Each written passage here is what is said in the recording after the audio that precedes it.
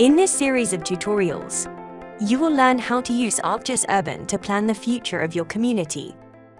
To get started, you can try Urban for free by going to urban.arcgis.com. Once you've signed in, you can create a new urban model for your community. Find and open recent urban models. Or try out our example city, Boston. When Urban first opens, you will see a public-facing view which contains an interactive 3D city model of Boston, along with three key elements, projects, plans, and indicators. Projects are short-term activities on a parcel level, such as a new building proposal. Plans support long-term planning, like a neighborhood rezoning or redevelopment plan. And indicators offer further context for better planning and decision-making. An indicator such as flood risk can be calibrated for your own community.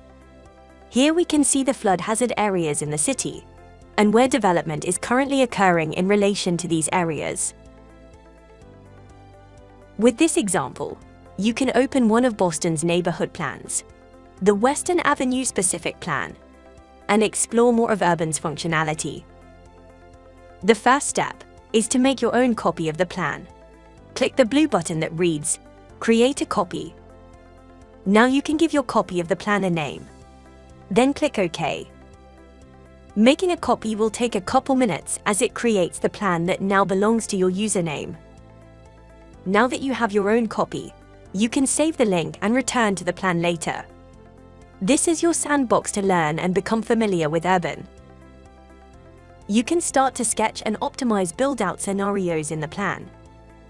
Test land use and zoning code proposals, such as changes to the maximum allowed height. Understand potential trade-offs with dashboards, configured to evaluate custom development metrics. Analyze your plan using interactive spatial analysis tools, like shadow and line of sight.